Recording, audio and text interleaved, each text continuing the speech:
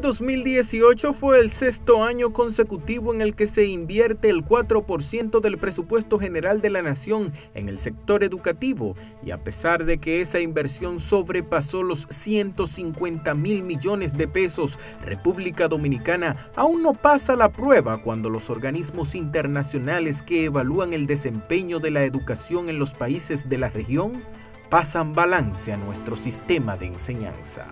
cambio de dirigencia en la ADP y en los uniformes de los estudiantes, la inauguración de nuevas escuelas y los enfrentamientos entre profesores y educación que en más de una ocasión generaron paros de docencia, caracterizaron el 2018 en ese importante renglón que también alcanzó una esquina del escándalo de las mochilas de Lucía Medina. El proceso de selección de los directores regionales de educación provocó el primer enfrentamiento del año entre la Asociación Dominicana de Profesores y el ministro Andrés Navarro, un conflicto que fue a parar en los tribunales luego de varias protestas de los maestros que se alzaron en las calles. Todo nombramiento que sea producto, que no sea producto del concurso, será invalidado y deberá ser revocado. El proceso de selección de los directores regionales y distritales se inició en enero y ya para febrero la ADP convocaba al cierre de las aulas, rechazando el procedimiento empleado por educación para la escogencia de sus nuevos funcionarios. Algunos gremialistas alegaban que Educación violentaba la Ley 66-97 que regula la carrera docente, mientras otros entendían que el proceso privilegiaba la meritocracia en la selección de los cargos, contrario a la partidocracia que imperaba hasta ese momento. En medio de las tensiones generadas por el conflicto, el ministro de Educación desafiaba la posición de la ADP y en marzo procedía a juramentar a los nuevos funcionarios del ministerio, que en los casos de Cotuí, Barahona, Azua, San Pedro de Macorís y otros municipios tomaron posesión en medio de incidentes.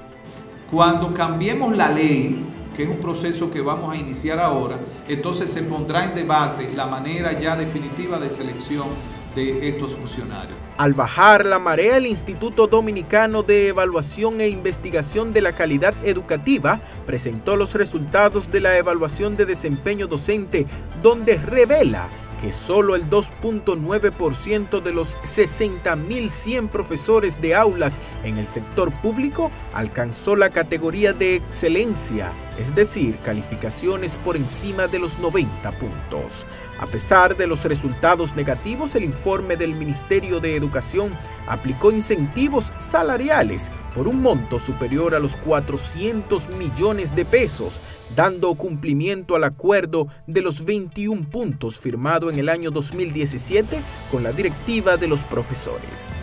A propósito de informes, en octubre la organización Iniciativa Dominicana por una Educación de Calidad presentaba el suyo, cuestionando que las clases arrancaran sin libros de textos adaptados al nuevo currículo a pesar de que este lleva cinco años en implementación, mientras se destinan 6 mil millones de pesos al programa República Digital, que aunque en una primera fase se aplicaría en 150 escuelas, solo se está ejecutando en 18 centros educativos. A mediado del año, el Instituto Bienestar Estudiantil que suple el desayuno, la merienda y el almuerzo escolar cambiaba el método de asignación de cuotas por el sistema de licitación, lo que provocó trastornos entre suplidores de las escuelas. Superado el trance llegaron las denuncias de retrasos en los pagos de suministro de alimentos, los mismos alimentos que intoxicaron a cientos de niños en distintas escuelas para la adquisición del almuerzo escolar. Hicimos una licitación nacional que involucró 12 mil millones de pesos. No hubo un solo ruidito. En 2018 también fue el año de las elecciones de la ADP. Eduardo Hidalgo quería seguir, sin embargo, tras una intensa campaña electoral, los ADPDistas se descantaron por la oposición que representaba Xiomara Aguante, una militante del Partido Revolucionario Moderno que derrotó al diputado del PLD, quien según trascendió habría sido víctima de una conspiración de grupos políticos dentro de su propio partido. que seré la presidenta de la ADP para todos sus miembros por igual y que no colgaré en ella la bandera de mi partido ni de ningún otro. En el área de la educación superior, en el 2018, la Universidad Autónoma de Santo Domingo escogió a Emma Polanco como la primera mujer rectora en casi cinco siglos de historia. La UAS que todos soñamos efectivamente empieza ahora. Muchas gracias. Finalizando el año, las principales universidades dominicanas reportaron el egreso de sus aulas de 28.328 nuevos profesionales de grado y posgrado en diferentes áreas del conocimiento donde solo la UAS puso toga y birretes a 5.981 estudiantes.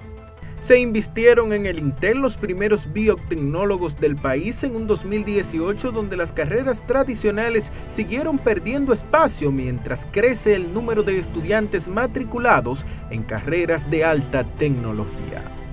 Para el 2019 las expectativas se concentran alrededor del proceso de la reforma a la Ley 66-97 de Educación, que se debate en el Consejo Económico y Social, donde se prevé nuevas confrontaciones entre grupos relacionados con el sector educativo. Para proceso, Jonan González.